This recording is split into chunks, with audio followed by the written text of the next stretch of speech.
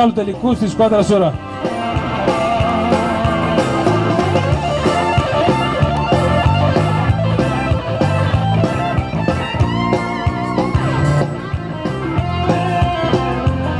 Εγώ δεν θέλω τον αρμόδιο να παίξω Ένα χειροκρότημα. να αποφασίζω κλεισμένο των θυρών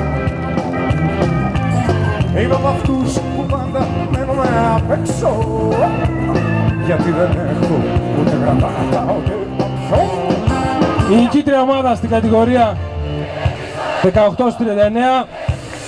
ο Ταμίας του Αθεστήριο Ιωσουφοβάκης θα κάνει την απονομή. Οι πρωταθλητές FC